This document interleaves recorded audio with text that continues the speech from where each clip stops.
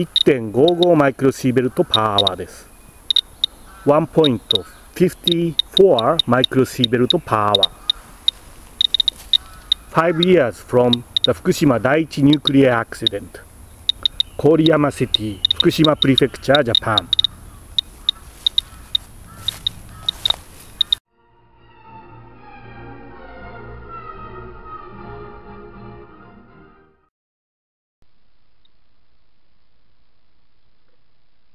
0.3マイクロシーベルトパワーです。除染の効果を告知するこの看板には0.21マイクロシーベルトパワーとなっています。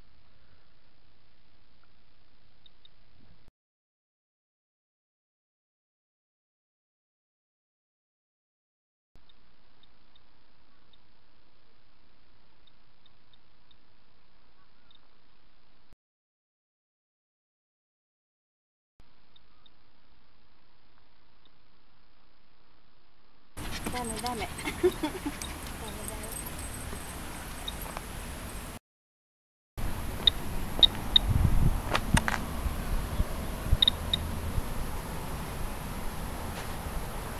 2016年7月16日福島県郡山市の五百淵公園の遊歩道に来ています。遊歩道脇空間の放射線量胸の高さで0.47マイクロシーベルトパワーです。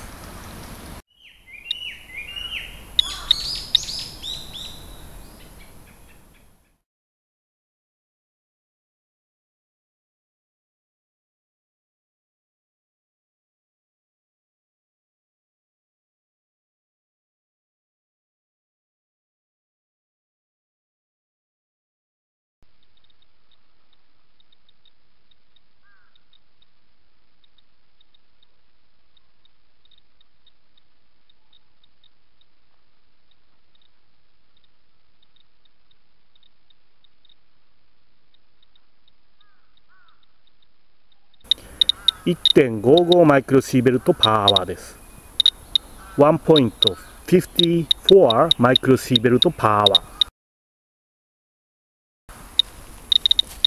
5 years from the Fukushima 第一 nuclear accident 郡山 City 福島 Prefecture Japan